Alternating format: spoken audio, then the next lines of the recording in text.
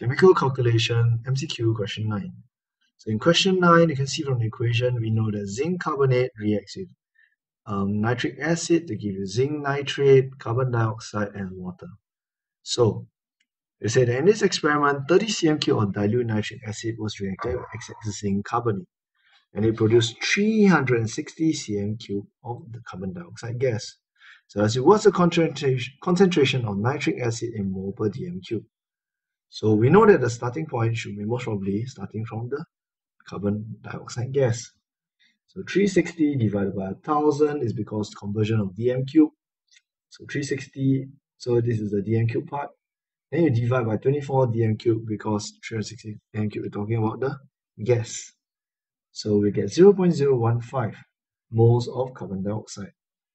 Now I want to move to the dilute nitric acid column.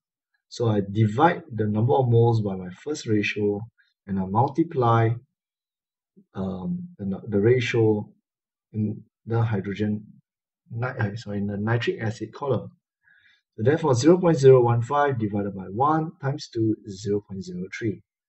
So from there, okay, now how do I get to find what is the concentration? Use your triangle.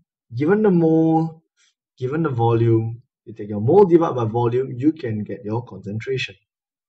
So 0.03 divided by 30 over 1000, you'll get 1 mole per dm cube. So answer will be a C.